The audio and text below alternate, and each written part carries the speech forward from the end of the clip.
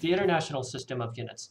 The SI system of units is used extensively since it has become the world's standard for measurement. Consequently, the rules for its use and some of its terminology relevant to mechanics will now be presented.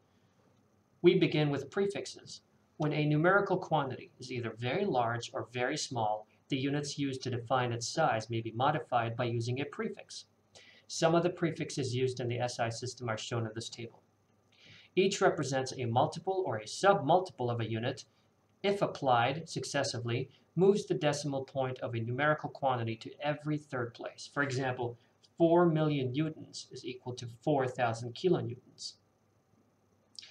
Or 0.005 meters is equal to 5 millimeters.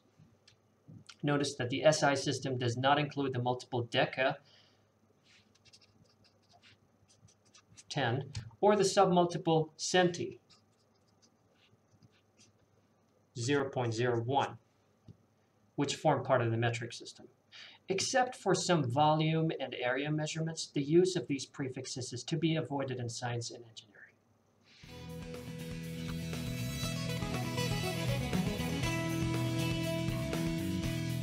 Rules for use. The following rules are given for the proper use of the various SI symbols. The first four are already written. Number one, a symbol is never written with a plural s, since it may be confused with a unit for second. So never written with a plural s. Number two, symbols are always written in, lower, in lowercase letters with the following exceptions. Symbols for the two largest prefixes shown in the previous video, giga and mega, giga and mega, are capitalized as G, capital G, and capital M, respectively. And symbols named after an individual are also capitalized. For example, N, as in newtons, named after Sir Isaac Newton. Number three, quantities defined by several units which are multiples of one another are separated by a dot to avoid confusion with prefix notation, as indicated by Newton equals to kilogram times meter per second squared, which is equal to kilogram times meter times second to the power negative 2, and m dot s is meter second, whereas ms is millisecond. Number four, the exponential power represented for a unit having a prefix refers to both the unit and its prefix. For example, micronewton squared is equal to micronewton all squared, which is equal to micronewton times micronewton. Likewise, millimeter squared is millimeter times millimeter. Number five, physical constants or numbers having several digits on either side of the decimal point should be reported with a space between every three digits space between every three digits rather than a comma. So for example, if you have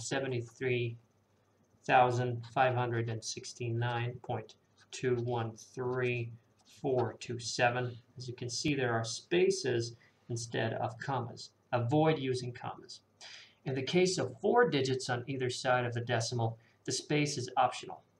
So for example, 8,537 or 8,537.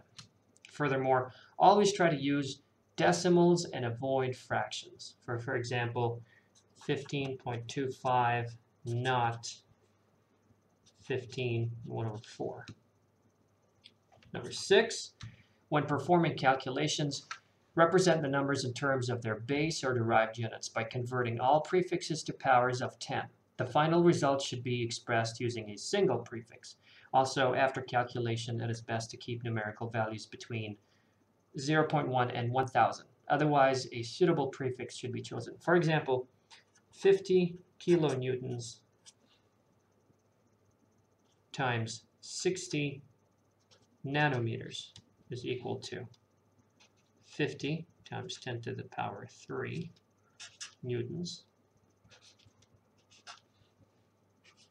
times 60 times 10 to the power negative 9